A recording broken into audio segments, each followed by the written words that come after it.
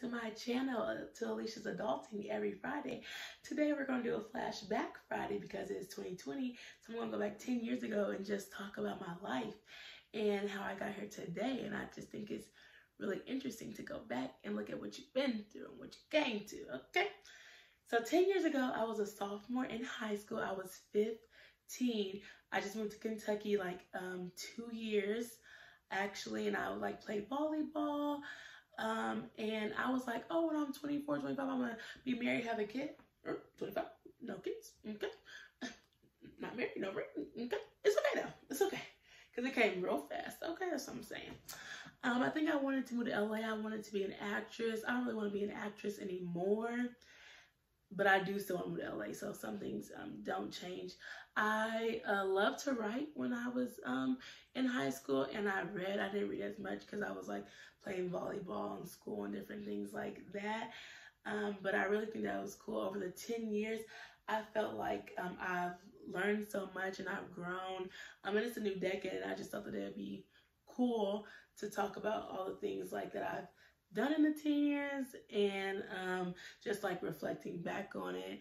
So I moved to Kentucky and then that was my uh, sophomore year. And then my junior year, I moved to another school and I went to North.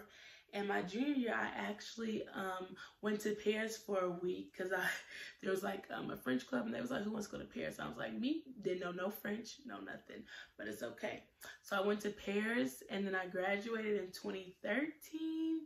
Um, then I went to University of Louisville, and my major changed like five, six, seven times. I went into like Pan African Studies. Actually, I did go into Pan African Studies. So I went to law school, but then I didn't even stay in Pan African Studies, and I went to communication. Then I went back to Pan African Studies. Then I went to sociology. Lord knows what I was doing, but I ended up minoring in Pan African Studies, and um, I was thinking about doing Spanish and all that stuff like that. So undergrad was really a whirlwind of fun. Uh, but I studied abroad in Panama and I studied abroad in Trinidad. And um, I was really involved and I liked being a part of the community. I liked um, mentoring and different things like that. And I still feel like that's really a part of me and who I am today, like giving back to the community and just helping to be in a um, helping hand, basically. Um, I had a best friend uh, 10 years ago actually. And we still are friends today. That's like one friend. It's so hard when you like be in the military to connect and keep up with people when you move and stuff like that. So um, that's pretty cool. And then i graduated in 2017 at u of l. And then 2018 i went to get my master's. I graduated 2019 and now it's 2020 so we're here today. That's like the school you know the school debut of that. Um, personally, I felt like I was shy when I was younger, so I feel like I came out of my shell. I feel like I was outgoing, but I still feel like I am shy.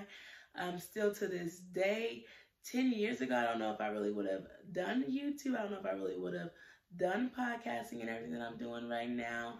Um, so I think I really did come out of my shell. I didn't know that I would probably be uh, traveling, going around the world and doing stuff like that. Um, I didn't know that I really liked to travel until I really kind of got in college. When I was in high school, I didn't really travel that much, but I actually did um, go to Korea in seventh grade because my dad was in the military. But I didn't like think that I was going to be traveling around the world and having a YouTube channel and stuff like that. So it kind of grew as I got older and wanted to share my story. Um, I didn't know that I wanted to be a writer when I was younger. I thought I just liked it, but now I'm like, okay, like this is something I can do. Um, I really think that uh, the 10 years taught me like how to persevere, how to be resilient, and just go after anything that I want to go after for. And those really um, happened in my later years, like in college, and sticking up for myself and standing up for myself. Because in um, like I said in high school, I was like really like shy, quiet, reserved. I talked to people, but I really talked to that many people. But I think when I got to college, I like opened up, and now I've opened up more. And so um, I just feel like I have a like a heart of giving, and I just want to help people and see people achieve. Not everybody is like that, so I personally don't know who is not and who ain't like that. But yeah, I think um, also ten years back, I felt like I don't know, like if I knew my purpose, Um, I know if I knew what I was passionate about. Now I do know the things that I'm passionate about. I'm still working on my purpose, you know? And so let's fast forward to 2020 and 2030. I want to be working for myself. I want my own businesses. I want my own land. I want to be able to create generational wealth, even though I don't have no generations after me.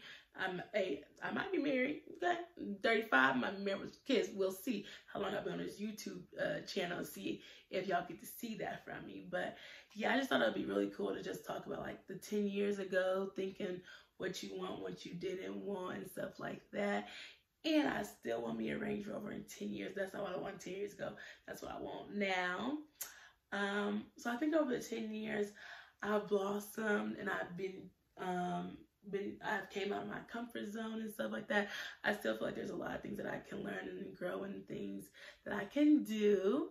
But yeah, if you like this Alieshia's Adulting episode, let me know in the comments uh, what you thought you was going to do 10 years ago to what you're doing now and stuff like that. So make sure you like, comment, and subscribe to your girl's channel.